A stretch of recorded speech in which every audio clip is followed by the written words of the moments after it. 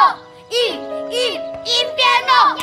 Ngayong taon, inihahandog ng ABS-CBN ang isang natatanging kwento ng pagkakaibigan. Gusto ko same school para tayo magkasama.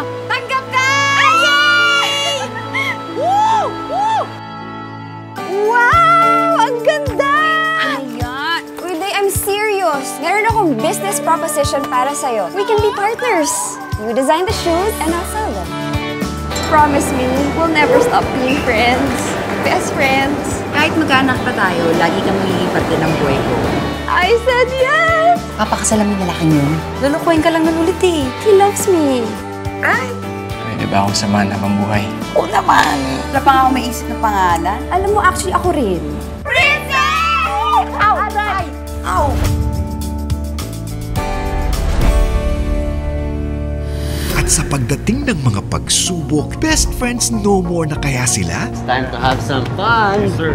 Huwag lang malalaman nila lahat. Wala nawawalan tayo ng pera tuwing may transaksyon si Ian. Iyan is stealing money? Tama na! I'm sick of it! Savings namin, buhay ko, buhay ng anak ko.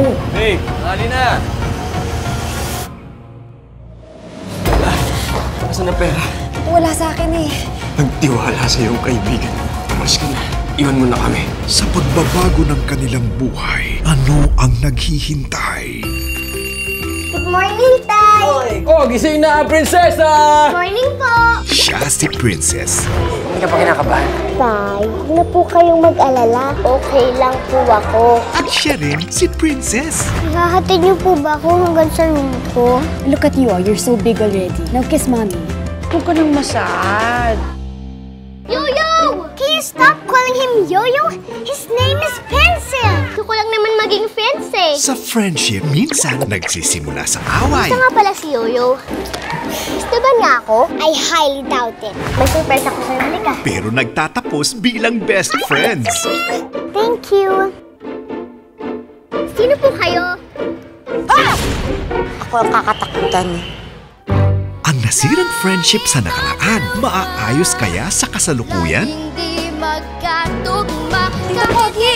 walang susuko Basta't magmamahalan Tay! Ang damayan Sino nawahali si tatay?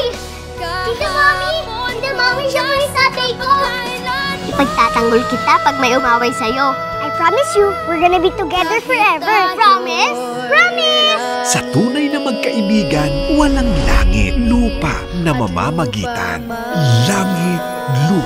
Ngayong November 28 na.